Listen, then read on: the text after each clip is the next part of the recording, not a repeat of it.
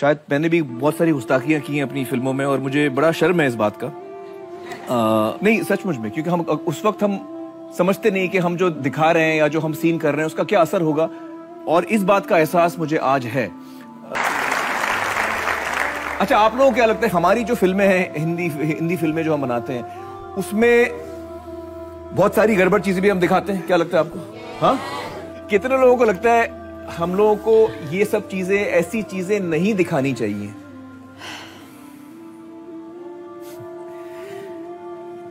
मुझे लगता है कि वक्त आ गया है कि फ़िल्म इंडस्ट्री में हम सभी क्रिएटिव लोगों को थोड़ा रुक कर, थोड़ा थम कर ये सोचना चाहिए कि हम अपनी फ़िल्मों के ज़रिए क्या सीख दे रहे हैं अपने बच्चों को, अपने ऑडियंस को, अपने आने वाली पीढ़ी को।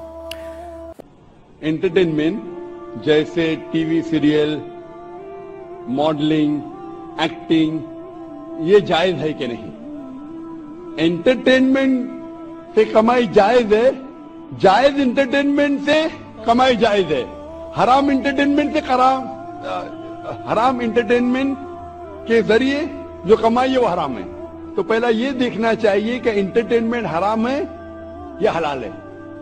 जो भी आपने कहा अक्सर जो टीवी सीरियल है फ़िल्म एक्टिंग है मॉडलिंग है, ये हराम है। कुछ टीवी सीरियल अगर इस्लामिक है और कुरान और हदीस के खिलाफ नहीं है उसकी कमाई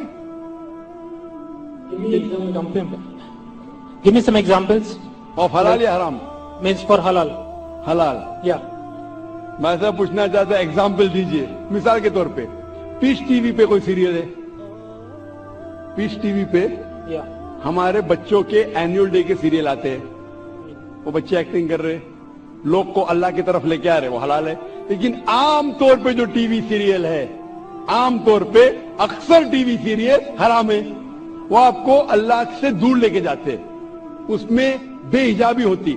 जो लोग कपड़े पहने हैं, वो कपड़े पहनने के बाद बदन को ज़्यादा दिखाते हैं। कपड़े सही नहीं होते। इसके अंदर हिजाब नहीं होता।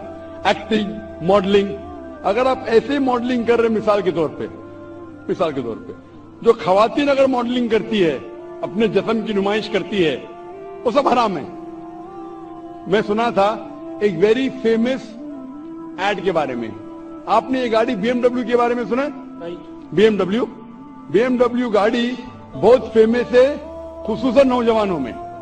मर्सिडीज फ़ेमस है लेकिन नौजवानों में बीएमडब्ल्यू मुझे एक जन ने कहा था कि बीएमडब्ल्यू की एक एडवर्टीजमेंट थी, जिसके आज, जिसके आगे, वो बीएमडब्ल्यू गाड़ी के आगे एक खातून खड़ी है।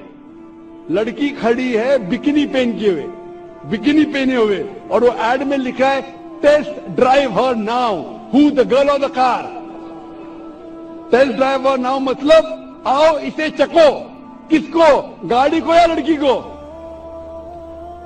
तो बिकिनी खेल की पेन के लड़के आगे खड़ी है, ये हराम है।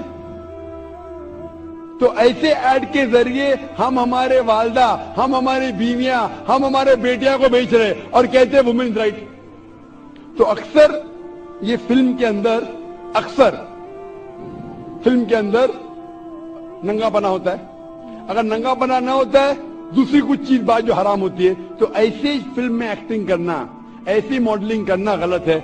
लेकिन अगर आप देखते पीस टीवी पे।